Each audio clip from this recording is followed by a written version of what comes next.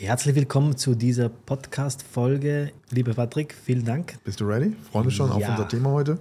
Definitiv. Wir haben uns heute das Thema Flag Day rausgepiekt. Seit 2004 wird ja in den Vereinigten Arabischen Emiraten das Thema Flag Day extrem groß geschrieben. Das heißt auf Deutsch, jeder zeigt und hisst die Flagge. Du siehst hier in Dubai, das kann man ja nicht übersehen, überall die VAE-Flagge an jedem ja. Gebäude, an Straßen, auf Stränden. Es wird und wird mhm. und wird zelebriert. Diesen Flag Day gibt mhm. es in den VAE seit 2004. Zufällig, als ich das erste Mal nach Dubai kam, wurde okay. aber wegen dem nicht eingeführt, sondern der Präsident bzw. der Ruler of Dubai, mhm. der Sheikh Al Maktoum, hat das damals eingeführt, weil eben der Präsident Khalifa damals, ja, wegen ihm wurde dieses eingeführt, 2004. Okay.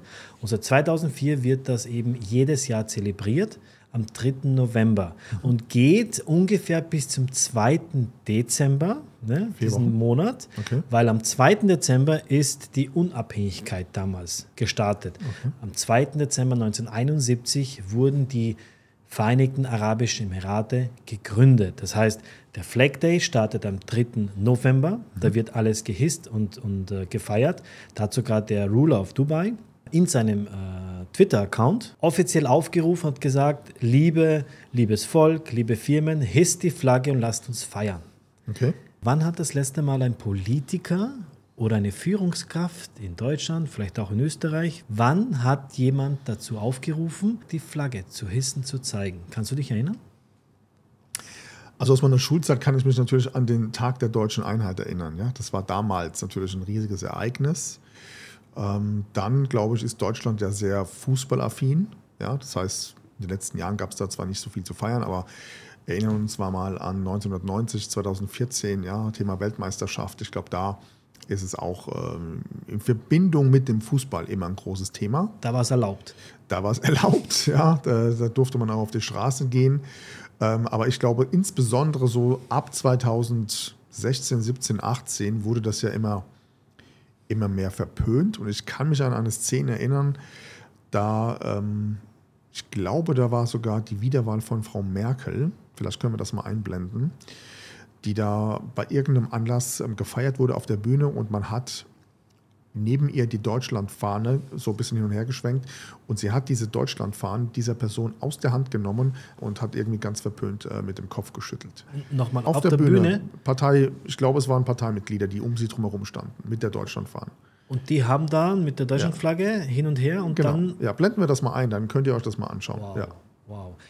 Was für ein Problem hat denn eigentlich Deutschland mit der Flagge. Warum darf man oder sollte man in Deutschland nicht die Flagge zeigen? Also, ich bin jetzt schon jahrelang hier ja. in Dubai, in den VAE. Und ich feiere das, wenn die diese Flagge zeigen. Das ist ja Nationalstolz, das ist schön. Ja, absolut. Burj Khalifa leuchtet in den Flaggen. Emirates Airline hat diese Flagge hinten drauf.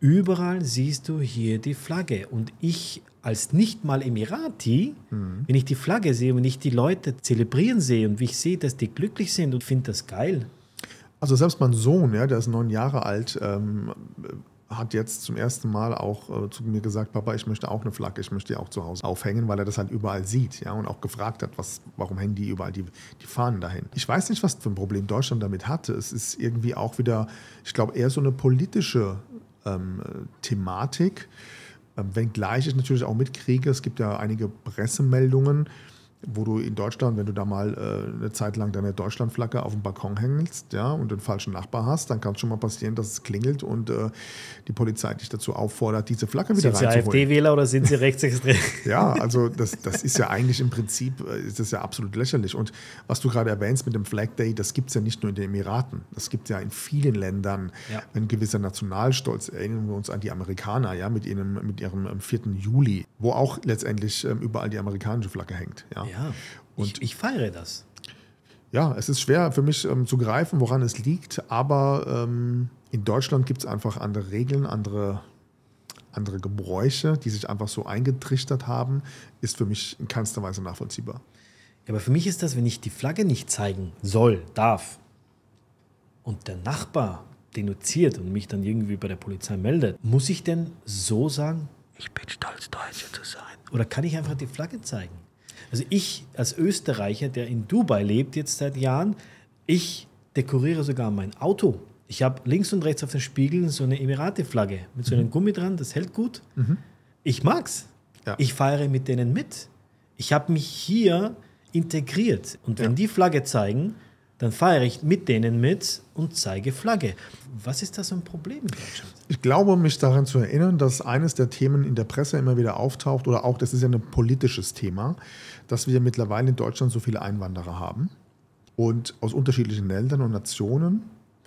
Und ich glaube, mich daran zu erinnern, dass es irgendwann mal eine Diskussion gab, ob das nicht gegenüber den Einwanderern auf eine gewisse Art und Weise zu viel Dominanz ausstrahlt, ja, dieses, dieses eigene Land mit der eigenen Flagge zu zeigen, wenn wir viele Ja, aber die Auswanderer wissen, warum sie weg sind. Aber die Einwanderer wissen ja, wo sie hingekommen sind. Die kennen ja auch die Flagge von Deutschland. Erstens das, und wenn du dir mal anschaust, ähm, viele Türken, Italiener, ähm, keine Ahnung, ähm, Spanier und so weiter, da gibt es ja auch viele, die in Deutschland ihre eigene Landesflagge auf dem Auto haben oder auf dem Balkon hängen haben und so weiter. Das sagt ja auch keiner was. Es geht ja aber auf der anderen Seite mittlerweile schon so weit, dass nicht nur Deutschland selber seine eigene Flagge nur ungern zeigt, sondern du darfst ja mittlerweile auch bei auserwählten Ländern nicht mehr derjenige, der dann in Deutschland beispielsweise lebt, die Flagge zeigen. Also versuch mal gerade in der Situation die russische Flagge zu zeigen. Ja? Oder jetzt aufgrund des aktuellen Nahostkonflikts gibt es Videos, wo Demonstranten auf der Straße von der Polizei angehalten werden und aufgefordert werden, die palästinensische Flagge einzu, einzupacken. Ansonsten würde man ihnen diese abnehmen. Also was läuft da? Aus meiner Sicht, soweit ich informiert bin, rechtlich überhaupt gar nicht zulässig. Ja? Dass man die Flagge einem wegnimmt, ja. Eine, eine Nationalflagge, eine offizielle Flagge eines Landes. Wo ist da die Rechtsgrundlage? Warum kann der Italiener bei seinem Restaurant 30 Flaggen draußen hängen haben am, am, am Garten? Aber der Deutsche, wo du Schnitzel kriegst und vielleicht dein Wildragout und Ja. deine Knödel, der kann nicht die deutsche Flagge Ja. aufhängen. Ja? Da, das interessiert mich. Und schlimmer noch, du hast es gerade richtig gesagt, es ist ja nicht nur so, dass man es nicht macht, ja, sondern wenn du es machst, wirst du ja oftmals sofort in die rechte Ecke oder als Nazi und Ja, so weiter ja, abgestempelt, ja, was ja absolut absurd ist. Finde ich, finde ich krass.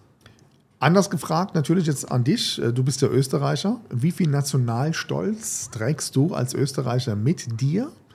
Inwiefern hat dieses, diese österreichische Staatsbürgerschaft ja, in deinem Leben hier in Dubai auf eine gewisse Art und Weise noch einen Impact? Ähm, fühlst du dich damit noch verbunden oder Gar keinen. bist du... Gar keinen. Okay, Machen wir es kurz, gar kein. gar kein. Das erste und das letzte Mal, als ich Mhm. vor der österreichischen Flagge stand, war in meiner Bundeswehr. Okay, Salutieren, die Flagge wurde nach oben Ja. Mhm. that's it. Danach und davor, ich habe nie die österreichische Flagge gezeigt. Weder noch in der Schule, nirgends hatte ich die österreichische Flagge. Weder noch gesehen noch gezeigt. Ne? Mhm. Okay. Also nur Bundeswehrzeit. Im Gegensatz zu hier in den Emiraten, wo ich mich ja natürlich null verbunden fühle und brauche ich auch nicht, weil ich fliege auch mit Emirates Airline von Wien nach Dubai und nicht mit Austrian Airline, weil Austrian Airline, kann man das sagen, gehört ja nicht mehr Österreich. Ne? ah, okay, Er gehört zur Lufthansa Group, okay. genauso wie die Swiss Airline. Liebe Grüße an alle Schweizer. Ich bevorzuge das Transportmittel der Vereinigten Arabischen Emirate, sprich Dubai, dann Emirates Airline, und fliege nach Dubai oder fliege von Dubai nach Wien. Alleine wenn ich den 380er, ja, zum Beispiel in München, wenn ich von München wegfliege oder von Wien, ich sehe den 380er am Gate, aber ich fühle mich schon zu Hause, weil es nach Hause geht. Und ich habe auch oft, als ich damals ausgewandert bin nach Dubai, die Frage gestellt bekommen, so, was ist für dich Heimat, Silly? Das ist eine gute Frage. Ey, da, wo ich mich wohlfühle. Ich fühle mich doch da zu Hause, wo, wo ich mich wirklich auch wohlfühle. Und ich bin ja nicht ohne Grund damals von Österreich weg. Ich habe mich nicht mehr wohlgefühlt. Ich habe ja auch äh, Wurzeln, ja, nicht nur aus Österreich, sondern eben aus dem ehemaligen Jugoslawien. Ich war ja im Sales unterwegs und äh, natürlich hat man eine Business Card immer dabei. Und wenn ich dann bei Terminen waren und wir haben alles eingetütet und der Deal ist zustande gekommen und Handshake und dann so, äh, lass uns nochmal Businesskarten austauschen. Und dann nimmt immer die Person gegenüber meine Karte und so, oh, die sind aber nicht Österreicher, oder? Was hat das jetzt zu tun mit dem? Ne? Also ich wollte oft in meinem Berufsleben diesen Businesskartenaustausch vermeiden. Okay. Ne? Flagge habe ich nie gezeigt. Würde jetzt auch jetzt nicht auf die Idee kommen, mit der österreichischen Flagge hier in Dubai rumzuwedeln. Aber eben die Dubai-Flagge oder die Emirate-Flagge, die finde ich cool. Ich finde das genial, dass dieses Volk hier stolz ist auf das, was sie geschafft haben. Und ich glaube, das verbindet auch diesen Flag Day mit dem National Day, 3. November Flag Day, 2. Dezember National Day, dass die Leute auf etwas stolz sind. Jedes Kind auf diesem Planeten kennt Dubai, kennt die Flagge. Und das finde ich geil. Und das hat auch viel mit Marketing und Verkaufen zu tun. Diese Stadt hier verkauft sich genau durch diese Sachen, die sie symbolisieren und nach außen hin tragen. Ich finde das genial. Ich Ja. finde das richtig cool. Wie sehr ist bei dir dieser Nationalstolz, diese deutsche Flagge verankert? Du hast ja Wurzeln aus Deutschland und Puerto Rico. Mein Genial. Großvater ist aus Puerto Rico und ähm, habe ihn aber nie persönlich kennengelernt, habe aber noch Verwandte auch in Amerika, aber bin eben klassisch in Deutschland aufgewachsen, in Deutschland Kindergarten, Schule gegangen. Ich war ähm, einige Jahre bei der Militärpolizei, ja, war dann bei der NATO und so weiter, also auch für Deutschland gedient, im wahrsten Sinne des Wortes. Äh, war dann im Angestelltenverhältnis eine kurze Zeit, habe mich dann irgendwann selbstständig gemacht und ähm, habe dann natürlich auch entsprechend, ja, äh, sämtliche klassisch deutschen Verpflichtungen inklusive Steuer und Co. genau so abgelegt, äh, wie man das halt eben nun mal so macht. Irgendwann kam aber der Punkt, bei dem ich mich einfach mit bestimmten Dingen nicht mehr identifizieren konnte.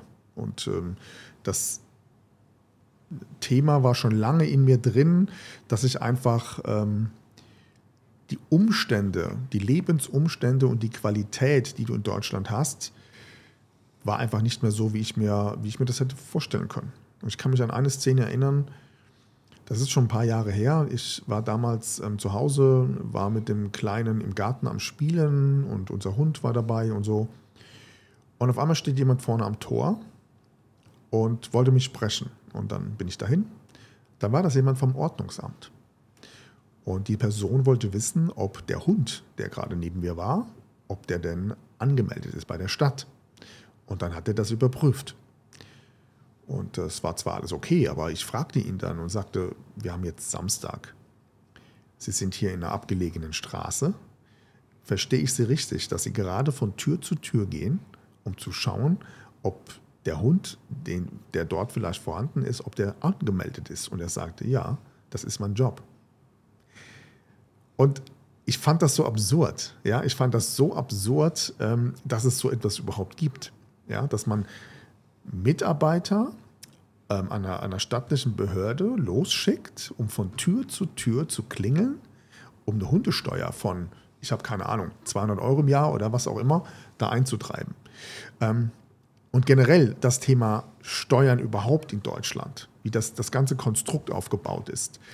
Kein Return on Investment, kaputte Straßen, marodes Schulsystem. Moment, du hast ja das Schulsystem genießen dürfen. Genau, ja. Sagen ja auch viele, die Ja. nicht Steuern zahlen wollen würden, ja. nicht wissen, wie sie da rauskommen, aber die, die es geschafft haben, dann sagen so, guck dir das an, lebt jetzt in Dubai, Ganz genau. hat die. Vorteile genießen können und jetzt ist er weg. Ganz genau. Das höre ich immer wieder auch. Ich bin auf LinkedIn sehr aktiv. Und da ging es letztens auch um das Thema Auswandern. Da hat auch einer drunter geschrieben, ein erfolgreicher Unternehmer hilft dabei, das Land wieder aufzubauen und haut nicht einfach nur ab nach Moment, Dubai. ist es zerstört? In seinen Augen vielleicht politisch betrachtet. Okay. So, und hier habe ich eine ganz klare Meinung. Ich habe meine, meine Schulden in Anführungszeichen gegenüber dem deutschen Staat beglichen. Ich habe eine Ausbildung gemacht, ich habe die Schule gemacht, ich habe immer Steuern bezahlt, ich habe ein Unternehmen gegründet, ich habe Arbeitsplätze geschaffen. All diese ganzen Dinge habe ich eins zu eins exakt genauso gemacht, wie man es halt einfach nun mal in Deutschland macht. Aber ich hatte irgendwann die Möglichkeit und die Freiheit zu entscheiden, ob ich das so weitermachen möchte. Und vielleicht kennst du die Situation. Mir ist, fällt eine Sache immer wieder auf. Die Menschen, die Auswanderer verurteilen, sind oftmals selbst gar nicht in der Lage, eine solche Entscheidung zu treffen. Sie sind nicht in der Lage zu sagen, ich packe meine Sachen und gehe einfach in ein anderes Land. Ob das jetzt Dubai ist, ob das Amerika ist, völlig egal. Aber die, diejenigen, die die meiste Kritik aussprechen, dass man selbstbestimmt ein Leben führt und selbst entscheidet, wo will ich arbeiten, mit wem will ich arbeiten und so weiter, sind selber nie in der Lage, diese Entscheidung zu treffen, weil sie viel zu viele Fußfesseln haben. Erstens das, zweitens leben vielleicht noch bei Mama und Mhm. drittens haben mit der Bank ein Riesenproblem, weil da extrem große Schulden am Konto drauf sind. Kannst ja in Deutschland, Österreich extrem viel auf Pump kaufen, ja. Ratenzahlung, ja, das wird dir hier in Dubai nicht ermöglicht. Ne? Also solche Leute können gar nicht auswandern und sollten auch nicht auswandern, weil das, was sie in Deutschland, Österreich in Genuss kommen, kriegen sie hier gar nicht. Und deshalb ist es auch gut so, dass es auch Leute gibt, die nicht auswandern und nie auswandern werden, wenn ein Schiff sinkt. Absolut. Ja, dann gucke ich doch, dass ich einen Platz habe im Rettungsboot. Ja. So. Es bringt dir nichts, wenn du wie auf der Titanic bis zum Schluss noch mit der Violine spielst und, und erfrierst. Ne? Ja. Ähm, übrigens ein geiler Film. ich gehe sogar noch einen Schritt weiter. Ich sage, und das ist meine persönliche Message jetzt gerne auch hier an die, an die Community, ich finde, wir leben in einer Zeit, in der es unabdingbar ist, egoistisch zu sein. Du musst egoistisch sein. Ich bin egoistisch gegenüber mir selber und meiner Familie, weil am Ende des Tages, wenn ich den Strich ziehe, geht es nur darum. Klassisches Beispiel, Flugzeug, ja, Druckabfall, Maske fällt runter, was sollst du tun? Als erstes an dich denken und dann an deinen Nachbar. Und ähm, diese Entscheidung haben wir damals einfach getroffen. Ich war an dem Punkt, ich hatte die Möglichkeit auszuwandern, ich hatte die Möglichkeit hierher zu kommen. Ja, ich, ich habe noch Familie in Deutschland, meine Eltern leben dort, ähm, mein Cousin mit seiner Familie, ähm, den einen oder anderen Freund. Natürlich war das ein großer Schritt, aber unterm Strich stehe ich dazu, dass ich hier mit meiner Familie, mit meiner Frau gemeinsam eine egoistisch bewusste Entscheidung getroffen habe, um zu sagen, ich kann mein Leben, meine Zukunft doch nicht von politischen ähm, Typen abhängig machen. Wie du gerade gesagt hast, das Schiff geht unter und springst du jetzt oder springst du nicht? So. Vor allem, wenn man schon darüber spricht, dass das Schiff untergeht. Also viele ja. sind, ja. um das festzuhalten, mit der Politik in Deutschland, Österreich und so weiter nicht zufrieden. Die ja. Franzosen zeigen es ja eh am besten, dass sie nicht zufrieden sind. Die gehen ja gleich mal auf die Straße mit den Westen, aber ich kenne niemanden aus meinem alten Umkreis, der ja. mit der Politik zufrieden ist. Das heißt, ja. die Leute sprechen ja schon aus, dass das Schiff sinkt. Genau. Und trotzdem verlassen sie es nicht mit einem Rettungsboot, sondern sie warten, bis alles untergegangen ist und dann sich eine Tür zu suchen, wo sie dann draufspringen. Und natürlich muss man auch so sagen, das ist richtig ausgedrückt, die meisten können es ja auch nicht. Einer der Gründe ist, weil viele das System, in dem sie leben, ja nicht verstehen. Ja? Das System zeigt sich für mich wie folgt. Du gehst in die Schule. In der Schule wird dir beigebracht, wie du Angestellter bist. Du wirst Angestellter, die meisten zumindest, tauscht Zeit gegen Geld. Jetzt möchtest du natürlich auch ein bisschen leben, kaufst die erste Immobilie, weil dein Banker dir sagt, boah, ein Eigenheim ist eine super Sache. Du verschuldest dich auf 30 Jahre, kaufst ein Haus irgendwo in der Pampa. Ähm, sämtliche Investments, die du in dieses Objekt einsteckst, kannst du steuerlich nicht absetzen, weil es ist ein Privatbesitz. Okay? Dann heiratest du, du hast Kinder, das ist ja so ein, so ein Kreislauf und auf einmal kannst du gar nicht mehr dich frei bewegen, weil du hast Verantwortung gegenüber deiner Familie, du hast 300.000 Euro Schulden durch die Immobilie, du hast einen Arbeitgeber, wo du vielleicht eine gewisse, ähm, wie soll ich sagen, Loyalität auch hast, ja. Du hast ein Einkommen, das begrenzt ist, ja, das ist ja auch so ein Thema. Mhm. Du hast vielleicht 2500 netto als Beispiel. Das heißt, deine Möglichkeiten sind ja finanziell schon begrenzt. Jetzt hatte ich die Bank noch an der Backe, das Sozialsystem, das Steuersystem und die Politiker auch noch. Was willst du da machen? Du bist ja überhaupt gar nicht mehr handlungsfähig. Gar nichts. Gar nichts. Auch der Irrglaube, ich könnte ja jederzeit auswandern, wenn ich will, ist ja auch in den Köpfen verankert. Ja. Wir haben so viele Gespräche, Beratungsgespräche, ja. wo die Leute glauben, sie können weg. Ja. Und ein halbes Jahr später frage ich sie zum dritten Mal, wie sieht es aus mit dem Auswandern? So, ja, ich komme nicht weg. Ich habe das, ich habe das, Finanzamt, aus, ding, da, da, da die Leute haben ja auch diesen, diesen Mythos im Kopf, ich könnte ja mein Haus sofort verkaufen und auswandern. Nee, kommt auf den Markt drauf an, ist der gerade oben oder unten. Ich kenne das von meiner Tante, die leider mittlerweile verstorben ist, als sie ihr zweites Haus verkaufen wollte. Das hat über ein Jahr gedauert. Sie haben auch schon mhm. aufgegeben gehabt, ja. bis dann der richtige Makler ums Eck kam und mhm. dann wirklich einen, einen Kunden dabei hatte, einen Interessenten, der zahlungskräftig war. Ja. Weil verkauf mal ein Haus 300, 500.000 Euro, ja, mal so. Nee, da muss erstmal die Bank von dem Interessenten auch funktionieren. Genau. Ja, und der Treuhänder. Es ist nicht einfach nee. auszuwandern, definitiv. Und deshalb ist das auch eine Entscheidung, die man wirklich überlegen sollte. Gerade wenn man unzufrieden ist, wenn man ein bisschen stolz ist auf sein Land, aber kein Return Investment kriegt. Ja? Weil eigentlich haben wir alle eine Ausbildung genießen dürfen. Wir sind mhm. zur Schule gegangen etc. Aber wir haben doch dann mindestens 15, 20 Jahre wieder in diese Kasse eingezahlt. Also so ist es bei mir. Ich habe 20 Jahre habe ich gearbeitet natürlich. in Österreich und ich kriege ja jetzt schon eine Pension. Ich habe ja, ich sehe ja das, was ich als Pension schon kriege, sollte ich meine 65 Jahre irgendwann mal erreichen. Also ich weiß ungefähr, was auf mich wartet, wenn A, so alt werde und B, wenn überhaupt der Staat Österreich noch das Geld hat. Das ist ein sehr gutes Das- Argument, das kommt ja noch Ich dazu. glaube, damit werden wir jetzt diesen Podcast abschließen. Ja. Ja? Also in Deutschland ist es so, das kann ich der Community ja sagen. Viele kennen mich ja aus meinem ähm, Investment-Podcast und deswegen ist das ja genauso mein Thema. Ähm, man kann das relativ einfach hochrechnen. Man weiß in Deutschland, wie die Einnahmen sind, wie die Rentenkasse ausschaut, ähm, wie der sogenannte Generationsvertrag nicht mehr funktioniert. Ja, das ist ja alles, das ist ja alles eine Frage der Statistik, die ja relativ eindeutig ist. Das heißt, es wird darauf hinauslaufen, dass du irgendwann in Deutschland eine Einheitsrente bekommst. Das wird also keine Rolle mehr spielen ob du jetzt, ähm, keine Ahnung, 30.000, 50.000 oder wie viel auch immer pro Jahr verdienst, es wird irgendwann eine Einheitsrente geben und diese wird irgendwann über Hartz-IV-Niveau liegen. Ja, da gibt es Studien und Untersuchungen, Wissenschaftler, die das exakt genau auf den Tisch legen können. Also wir reden jetzt mal, sagen wir mal, über 500, 600 Euro ungefähr in diesem Dreh. Und dafür hast du halt eben ähm, bis zu deinem 67., 70., 72. Lebensjahr gearbeitet, theoretisch, wo jeder sich die Frage stellen sollte, wie willst du mit 72 und monatlich 6, 7, 800 Euro Rente überhaupt überleben? Schau dir jetzt schon die Rentner an. Wir haben unfassbar viele Rentner. Ich glaube, jeder Zweite in Deutschland verdient, ähm, generiert weniger als 1000 Euro Rente pro Monat.